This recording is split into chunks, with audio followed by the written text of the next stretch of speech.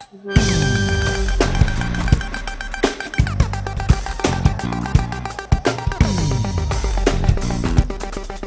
Tonight we are in Boulder, Colorado, at the Boulder Theater, and this is the album release for our extras in a movie.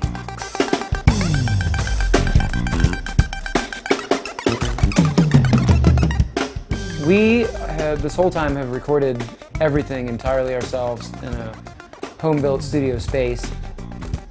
Uh, something special about recording your own album is to have freedom. Take as much time as you need to get it right. We had a time and we needed to get stuff done, but it felt a lot looser, a lot more natural. I'd say this is the most collaborative thing that we've ever done. Everyone contributed riffs. Every song had a contribution from somebody else in some way. That's where we really want to get to.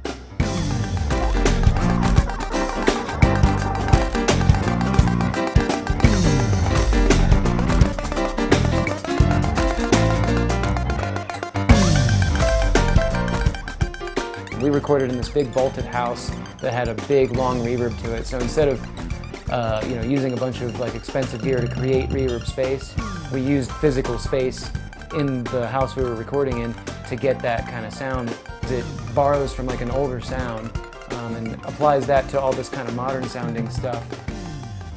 And when you mix the two together, you get a, really cool variety of organic sounds mixed with uh, a little bit more of a digital sound.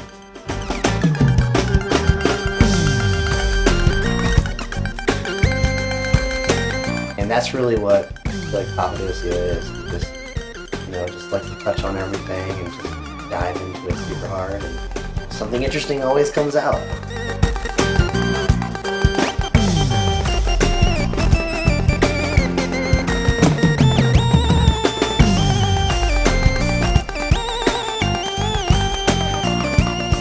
I'm just really excited personally to play the music because I really do believe in it and I love the direction that we're going and I'm not saying that I don't love the stuff we've done in the past but I feel like this is the best version of us so far.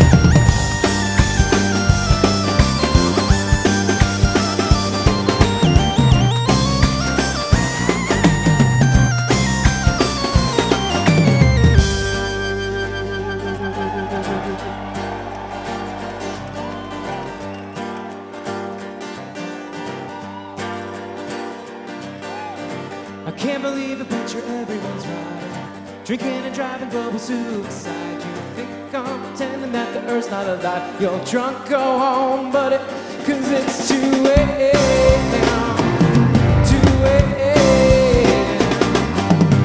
We have a very open-minded fan base that allows us to creatively express ourselves in ways that um, I don't know if other bands have that kind of freedom. We're just full of gratitude, I think. It's just fantastic to, to be here and do this.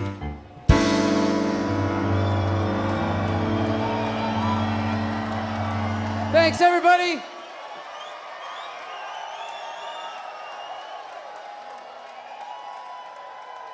So much love.